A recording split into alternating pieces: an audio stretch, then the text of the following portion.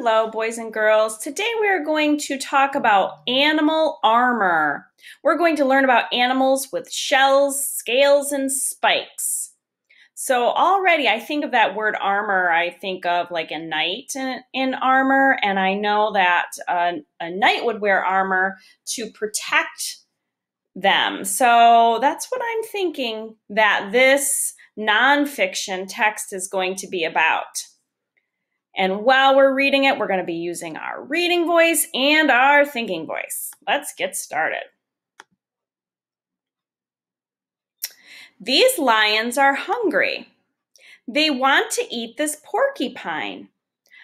But they know to beware the porcupine has body armor. What makes that porcupine dangerous for those lions to eat? Yes, those spikes, or they're called spines. Some animals have spines, others have hard shells, and some have thick, bumpy skin. Body armor helps keep animals safe. Sharp spines. Would you want to touch these animals? Probably not. Each spine is sharp and pointy. Spines tell a predator to back off. Sharp spines are painful. So it does, it protects them. And a predator is an animal that hunts and eats other animals. This is called a saddleback moth caterpillar right here. This is called a spiny bush cricket. And this is a spiny orb weaver. Those are all new types of animals for me. Those are very interesting. Lots of animals have spines. A lionfish has special ones. The spines have venom. If a predator tries to eat the lionfish, venom will enter the predator's skin. So, a venom, boys and girls, is a liquid that some animals make that kills or harms other animals. And I know that a snake, I've heard a snake producing venom, but also this lionfish over here very interesting. See how I'm using my reading and my thinking voice? Stay away from a porcupine. Its sharp spines are called quills. They shake and rattle when danger is near. The quills can stick into an enemy. Ouch! And um, if you, this is called an old world porcupine. That's interesting. I didn't know that that was such a thing either. And if you look over here, right here, these quills from an old world porcupine have fallen out. Oh, I don't know if you noticed up here, but there's like jokes, I think. It says, What do porcupines say when they hug? Ouch, is the answer. Strong shells.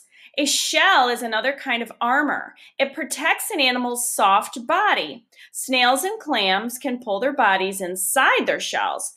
They can't move quickly, but they can hide. Many turtles can do this too. They pull their legs and head inside. A turtle has an upper shell and a lower shell. Both shells are hard and they grow with the turtle. The turtle's body is attached to the shell. Okay, uh, this is an interesting thing down here that I'm going to use my reading voice for. Did you know a turtle can feel when its shell is touched? Hmm, I haven't thought about that before because it's so hard that I would think that you wouldn't, that the turtle wouldn't be able to tell, but it can. Interesting.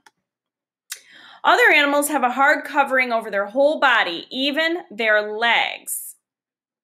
And if you, oh my goodness, these are called Christmas Island red crabs. I've I never heard about those before. So cool. This kind of shell doesn't grow. When the animal grows, its shell gets too small. The animal sheds the old shell. Shell. Then it makes a new one. This is called molting. And here's six cool facts about animal armor. If we look at number one, many people think porcupines shoot their quills. They don't. Some porcupines have quills that come off when a predator touches them. You know, I did think that a porcupine would shoot their quills, so that's something new that I learned. A puffer fish has spines that lie flat, but it can swallow water to make its spines stick out. Oh, that's interesting. So they swallow water to make themselves pointy like this. N- number three, many animals with body armor move slowly. The armor protects them when they can't get away from predators. Number four, all birds have scales on their toes. Oh, wow. If these are an eagle's toes, then it's really scaly. That's really interesting. A giant clam can be four feet long and weigh as much as three adult men, up to 500 pounds. That is huge. If you think of like three grown up men, and that is how much a clam can weigh. And number six, oh, this is absolutely adorable. But I don't know if I'd want to touch him. A hedgehog has spines on its head and back. When it rolls into a ball, its soft face and belly stay, stay safe from predators. Super scales. When you think about reptiles, do you think of scales? Scales are small, hard plates on the skin. Lizards, crocodiles, turtles, and snakes have them. Scales protect their skin. And a reptile is an animal with scaly skin, but it doesn't make its own body heat. It lies in the sun to get warm, and when it's too hot, it goes to the shade. Our body temperature, like humans, stays the same, unless we have a fever, of course. Reptiles aren't the only animals with scales. Fish and a few mammals have them too. The pangolin is a mammal with a thick sharp with thick sharp scales. It can roll into a ball. This makes it hard for predators to eat. So it rolls into a ball for protection. And a mammal, boys and girls, is an animal that feeds its babies milk and it keeps our temperature the same temperature, their body's the same temperature. Scales don't only make the skin tough, they also keep an animal from drying out. In hot areas, water is hard to find. Animals with scales need less water to live. Scales have color. They form patterns too. This helps an animal hide from its enemies.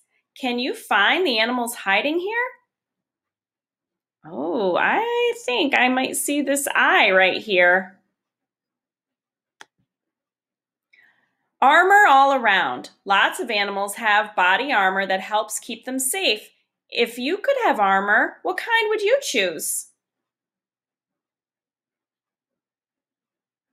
I think I might choose the spikes, the spines, or the quills for myself. what in the world? These pictures show up close views of animals with body armor.